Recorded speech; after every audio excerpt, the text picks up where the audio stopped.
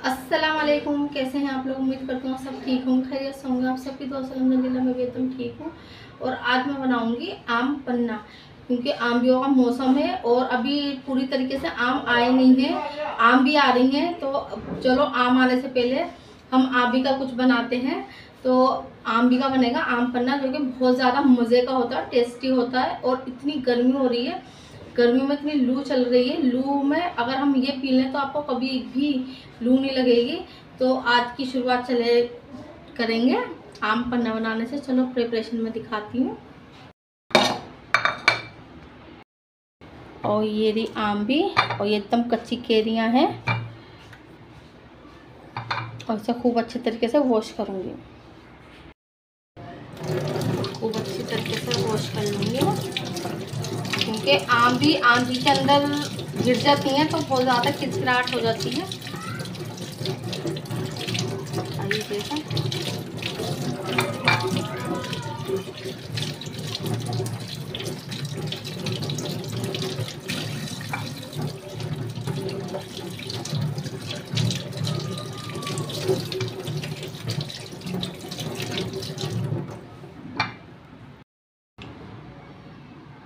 सबसे पहले लूँगी केरी।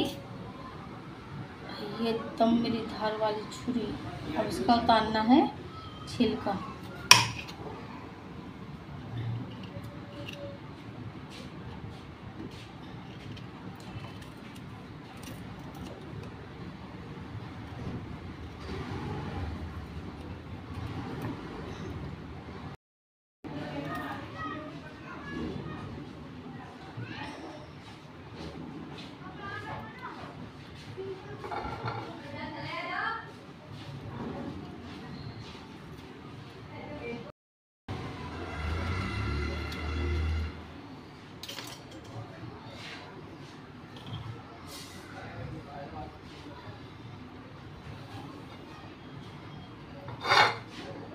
इसे को पतला पतला मैं काट लूँगी।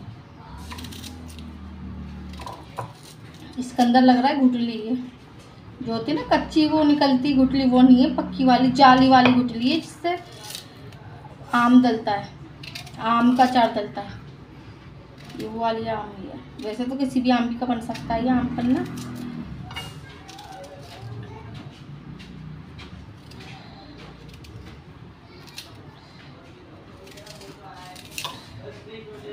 ये बहुत ज़्यादा हार्ड हो रही है आम भी जो है बहुत ज़्यादा सख्त हो रही है।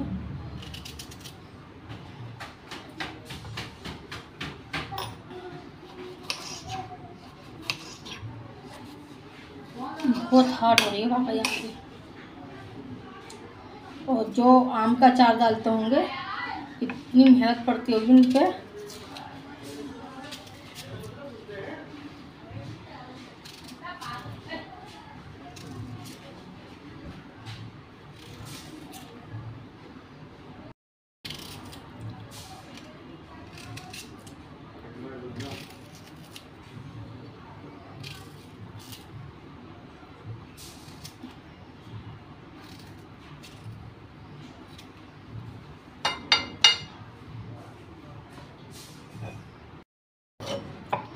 कट कर लिया मैंने, ये फ्राई पैन उसको आम को उसमें डाल लूँगी। इसके अंदर मैं डालूँगी आधा गिलास पानी और इसको पकाना है।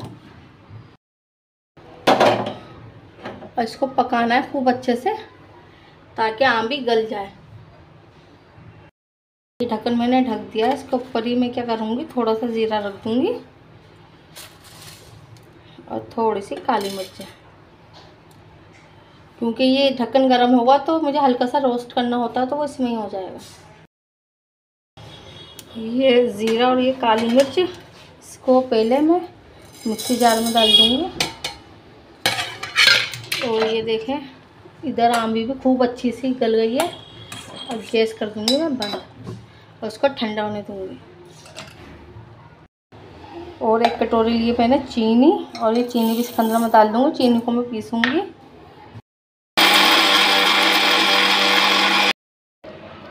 परफेक्ट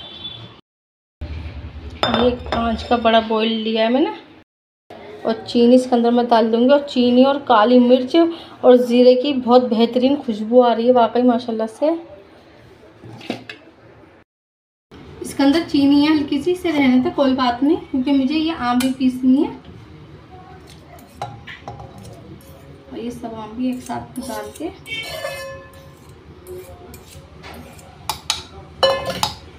अब इसे भी ग्राइंड कर लेंगे।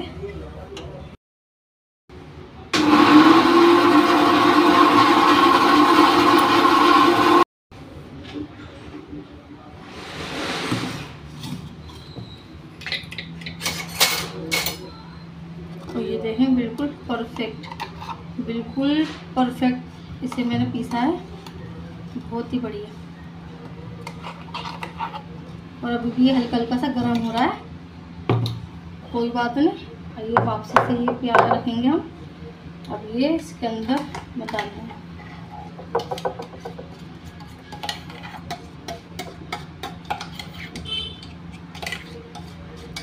कच्ची कैरी की खुशबू बहुत ही बढ़िया आ रही है, माशाल्लाह से। मैं डालूँगी एक गिलास पानी। एक दो ये तीन और ये ले लिए बर्फ़।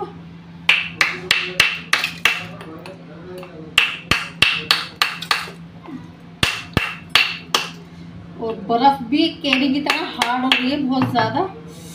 टूटी नहीं रही। और ये बर्फ़ फाइनली तोड़ ली है ना, बहुत ही मुश्किल से टूटी है बर्फ़। बर्फ़ भी हार्ड हो रही थी केरी की तरह। केरी भी बहुत सख्त हो रही थी काटने में मेरा हाथ क्या इसके में डालूँगी नमक। ये है काला नमक। काला नमक लिया है, ये है आधा चम्मच। और इसको भी मैं डाल दूँगी। और इसे खूब अच्छे से अभी ये इसको मिलाना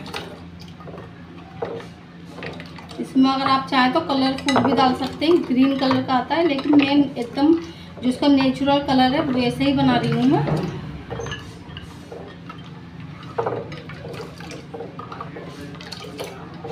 इसको खूब अच्छे से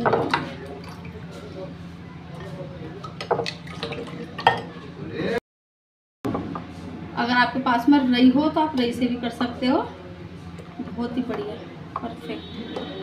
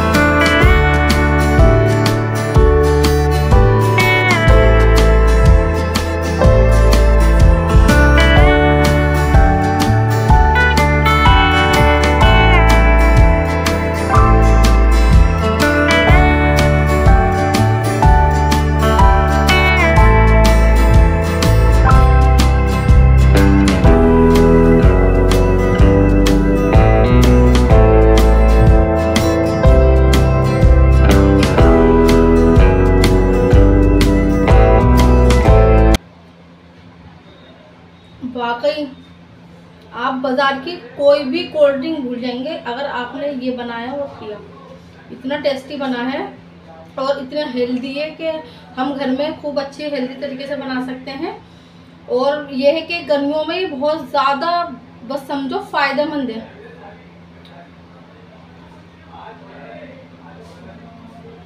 और जो टॉफ़ी का जो, जिसमें मैंने क्रश करके तो डाला ना, बहुत ही मज़े का लग रहा है, सच बताऊँ, बहुत ही मज़े का लग रहा है।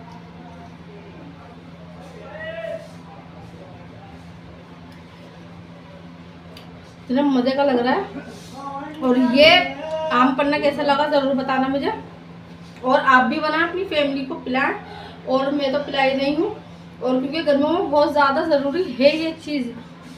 तो आज का ब्लॉग मैं यहीं पर एंड करती हूँ। अल्लाह हाफिज़।